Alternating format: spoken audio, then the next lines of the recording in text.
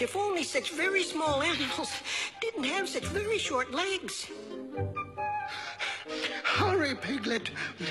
No time to be brave. Oh no, where can we go? What can we do? How can we hide? Terrifying, isn't it? Quick,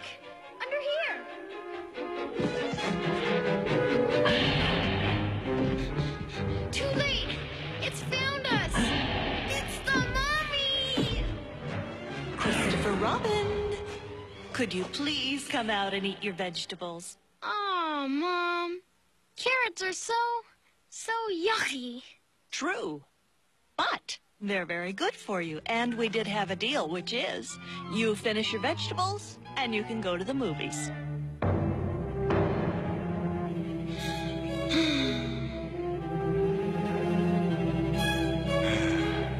You gotta bite your carrot, kiddo.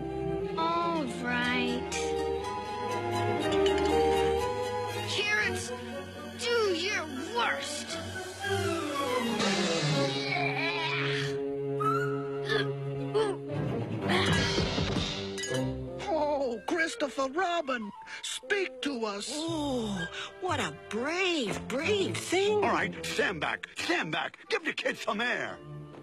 Well, you better not stay down there enjoying your lunch too long. You'll miss your monster movie. Monster movie? I thought we were going to go see a c- c- c- cartoon.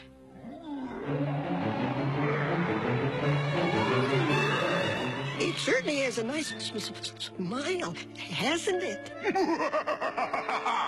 Yes. Oh, oh. Remember, Piglet, it's only a movie.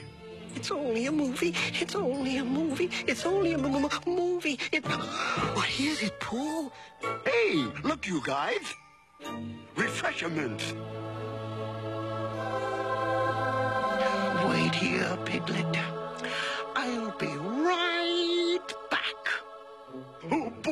I hope those guys hurry. We don't want to miss the part of the movie where the monster eats the whole city. The whole city? Oh, uh, perhaps we should move to the country. Nah, wouldn't matter. Sometimes movie monsters eat whole countries and spit out the pits. They do? do, do, do? Oh no! Oh,